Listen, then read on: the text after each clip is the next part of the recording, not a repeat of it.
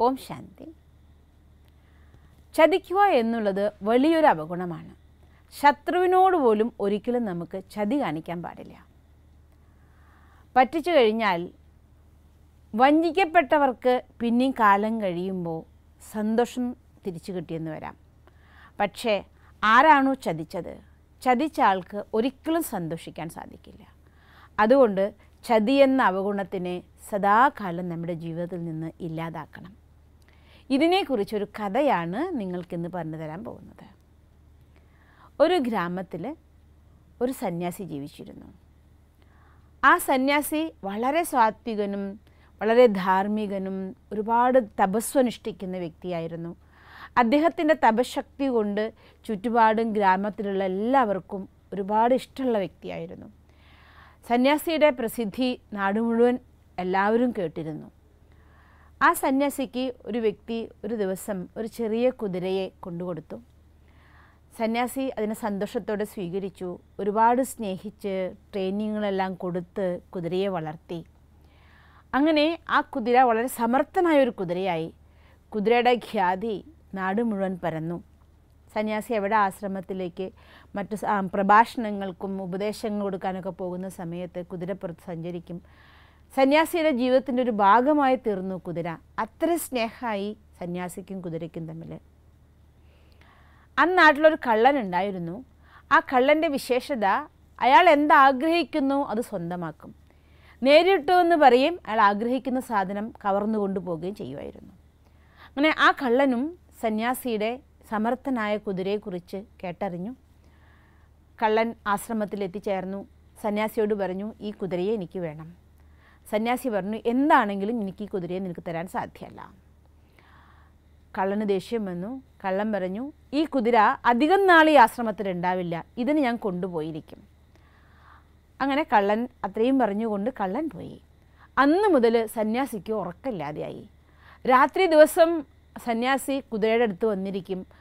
പക്ഷേ കള്ളൻ വരില്ല കുറച്ച് ദിവസങ്ങൾ കഴിഞ്ഞു പോയപ്പോൾ സന്യാസിക്ക് സമാധാനമായി. ഓ ഇവൻ അങ്ങനെയൊക്കെ പറഞ്ഞാലും എന്റെ കുതിരയെ കട്ടുകൊണ്ടുപോകുന്നില്ല. അവരത് മറന്നു കാണും എന്നൊക്കെ വിചാരിച്ച് സമാധാനമായി അങ്ങനെ കുറച്ച് നാളുകൾ കഴിഞ്ഞു.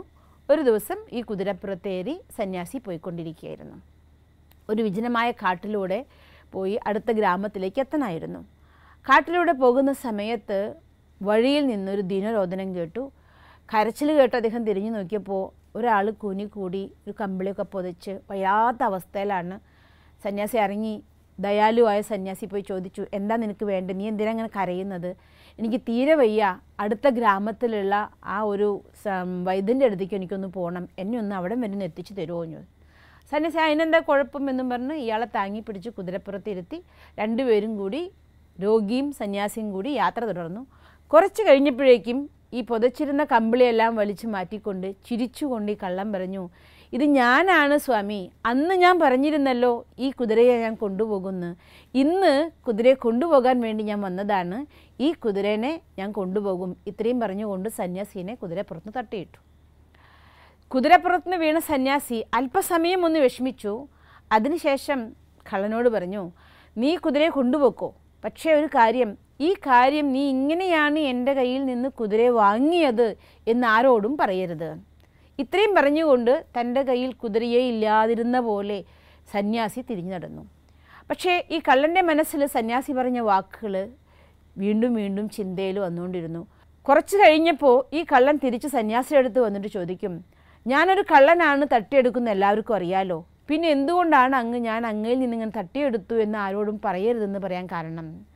അപ്പോൾ സന്യാസി മറുപടി പറയും നീ മൂലം യഥാർത്ഥമായ രോഗികൾക്ക് യഥാർത്ഥമായി വയ്യാതിരിക്കുന്ന ഒരാൾക്ക് കിട്ടേണ്ട സഹായം കിട്ടാതെ പോകരുത്. അത് കാരണമാണ് ഞാൻ നിന്നോട് പറഞ്ഞു നീ ആരോടും പറയരുത്. നീ ഈ കുതിരയെ കൊണ്ടുപോയിക്കൊള്ളൂ. പക്ഷേ ഈ രീതിയിലാണ് നീ തട്ടിയെടുത്തത് എന്നറിഞ്ഞു കഴിയുമ്പോൾ ഇനി മറ്റൊരാൾ രോ യഥാർത്ഥമായ രോഗി ചോദിച്ചു കഴിഞ്ഞാൽ ആരും സഹായിക്കാൻ തയ്യാറാവില്ല. അങ്ങനെ യഥാർത്ഥമായ രോഗികൾക്ക് കിട്ടേണ്ട ദയും അനുകമ്പയും കിട്ടാതെ പോകാതിരിക്കാൻ വേണ്ടിയാണ് അവർ കിട്ടാൻ വേണ്ടിയിട്ടാണ് നിന്നോട് ഇതാരോടും പറയരുതെന്ന് പറഞ്ഞത്. കള്ളൻ കുതിരയെ ഓടിച്ചു പോയി സന്യാസി തന്റെ ദൗത്യത്തിലേക്കും പോയി. രാത്രി സന്യാസി തിരിച്ച് ആശ്രമത്തിൽ എത്തിച്ചേർന്നു അപ്പോൾ രാത്രി ഉറങ്ങാൻ സമയത്ത് കുതിര തന്റെ സാന്നിധ്യം ചെനച്ചുകൊണ്ടും കാൽ കുളമ്പ് മണ്ണിൽ മാന്തിക്കൊണ്ടും ശബ്ദങ്ങൾ ഉണ്ടാക്കിക്കൊണ്ട് രാത്രി കുതിര തന്റെ സാന്നിധ്യം സന്യാസിയെ ഇടയ്ക്കിടയ്ക്ക് അറിയിക്കുമായിരുന്നു. അന്നും രാത്രി ഉറങ്ങുന്ന സമയത്ത് സന്യാസി കുതിരയുടെ ചെനയ്ക്കുന്ന ശബ്ദവും അതുപോലെ തന്നെ കുളമ്പ് കൊണ്ടും മണ്ണിൽ മാന്തുന്ന ശബ്ദമൊക്കെ കേൾക്കും. ഇതെല്ലാം കേട്ടപ്പോൾ സന്യാസിക്ക് തോന്നും എന്റെ ചിത്തം അവന്റെ സ്മൃതികൾ വരാണ് സാരല്ല കുതിര ആലയത്തിലില്ലെങ്കിലും അവനെ കെട്ടിയിരുന്ന സ്ഥലത്ത് ഞാൻ കുറച്ചു നേരം പോയിരിക്കട്ടെ എന്ന് വിഷമത്തോടു കൂടി സന്യാസി തന്റെ ഉറക്കത്തിൽ നിന്ന് എഴുന്നേറ്റ് കുതിരാലയത്തിലേക്ക് വരികയാണ്. അവിടെ വന്നപ്പോൾ സന്യാസിയെ അത്ഭുതപ്പെടുത്തിക്കൊണ്ട് ആ കുതിര അവിടെ തന്നെ ഉണ്ടായിരുന്നു. സന്യാസി പോയി കുതിരയെ കെട്ടിപ്പിടിച്ചു. കുതിര സന്യാസിനെ നക്കി തുടച്ച് അവർ രണ്ടുപേരും ഭയങ്കര സ്നേഹപ്രകടനം ഇതെല്ലാം കണ്ടുകൊണ്ട് ആ കള്ളൻ മറ്റൊരു ഇരുട്ടിന്റെ മറവിൽ നിൽക്കുന്നുണ്ടായിരുന്നു. കള്ളന്റെ കണ്ണിൽ നിന്ന് നിരന്തരം കണ്ണുനീരൊഴുകിക്കൊണ്ടിരുന്നു സത്യത്തിൽ എപ്പോഴാണോ മറ്റൊരാളെ ചതിക്കുന്നത് വഞ്ചിക്കുന്നത് അതോടുകൂടി മനസ്സിന്റെ സന്തോഷം ഇല്ലാതാകും. ചതിക്കപ്പെടുന്നവന് കുറച്ചു കാലം കഴിയുമ്പോഴെങ്കിലും വീണ്ടും സന്തോഷം കിട്ടിയെന്ന് വരാം. പക്ഷെ ചതിക്കുന്നവന് അതിന് പരിഹാരം ചെയ്യും വരെ സന്തോഷം ലഭിക്കില്ല. അതുകൊണ്ട് ഒരിക്കലും ആരും ചതിക്കരുത്. എപ്പോഴും എല്ലാവരും സഹായിക്കണം. ഓം ശാന്തി. നിങ്ങൾക്ക് ഈ വീഡിയോ ഇഷ്ടപ്പെട്ടുവെങ്കിൽ ഈ ചാനൽ സബ്സ്ക്രൈബ് ചെയ്യും. ഈ വീഡിയോയ്ക്ക് താഴെ കാണുന്ന ലൈക്ക് ബട്ടണും ചുവപ്പ് നിറത്തിലുള്ള സബ്സ്ക്രൈബ് ബട്ടണും അമർത്തും. ഒപ്പം തൊട്ടടുത്ത് പ്രത്യക്ഷപ്പെടുന്ന ബെൽ ഐക്കൺ കൂടി ക്ലിക്ക് ചെയ്താൽ